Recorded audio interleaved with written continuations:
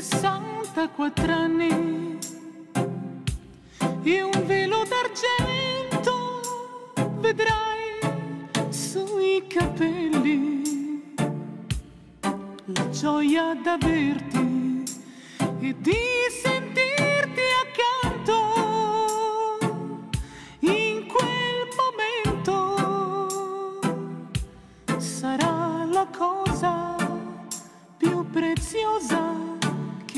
know